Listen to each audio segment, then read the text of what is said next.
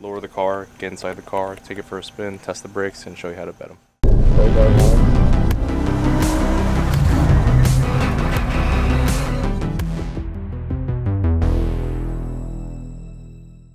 Right now it's pretty late at night, so it's kind of the perfect time to do this uh, brake bedding. Essentially, what we're going to be doing is we're going to do about five repeated 10 from 50 miles an hour to 10 miles an hour in succession without coming to a full stop. And this will allow the brake material to transfer onto the brake rotors and give a better uh, bite. Um, you want to do this every time you do your brakes that way you can have a, an even surface on the rotor. Otherwise, if you don't, you can possibly get rotor shudder and warping and all that stuff. So you don't have to do anything crazy. Just, you know, a couple stops here and there. We'll show you.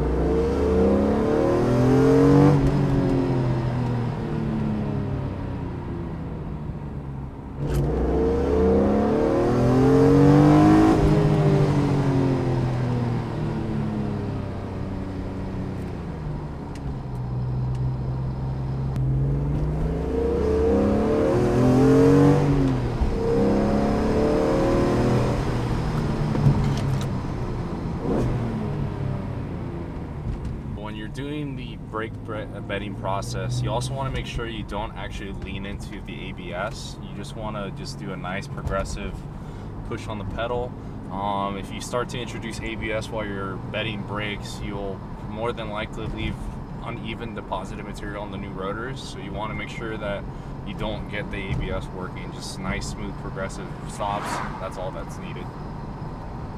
Try to keep your complete stops to a minimum and just keep rolling as long as you can while you're doing this uh, process.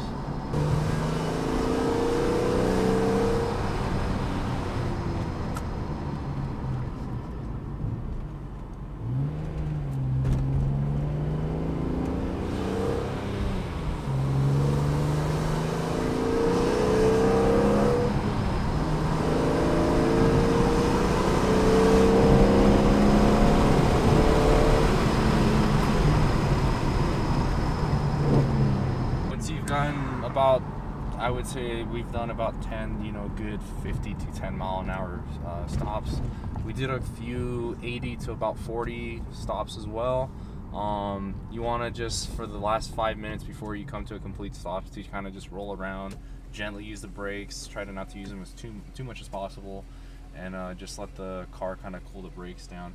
If you smell kind of like a burning smell, kind of, it's more than likely you're smelling the brake pads um, you're getting them up to temperature, so they're gonna emit some kind of smell, so it's completely normal. Once you're done, you're gonna want to gently try to avoid any kind of hard braking for about 500 miles or so um, of city driving, freeway driving. Um, if you have to emergency brake, then obviously you know emergency brake, but generally I recommend about a 500 mile uh, bed-in period where it's just nice gentle braking and then after that you should be pretty much good to go. So as you can see, that the you can look at you can visibly tell that the rotor is significantly more darker, and you can kind of just see like a, a wear pattern from the pads contacting the rotor. This is pretty much what you want to look for when you're bedding your brakes. You don't want to see any kind of like purple spots or discoloration or anything on the rotors immediately after you bed them in. That means you put in too much temperature. Um, the goal is just to transfer pad material to the rotor. It's not to bring the brakes to a maximum temperature right away. Um, but this is pretty much what you're going to be wanting to look for when you're bedding your brakes. So if you see this, then you're pretty much good to go for uh, the the next break-in, which is what I usually recommend 500 miles, give or take. Just gentle braking, try to avoid any kind of paddock stopping or hard driving or anything like that. Um, but other than that, that pretty much wraps up the install.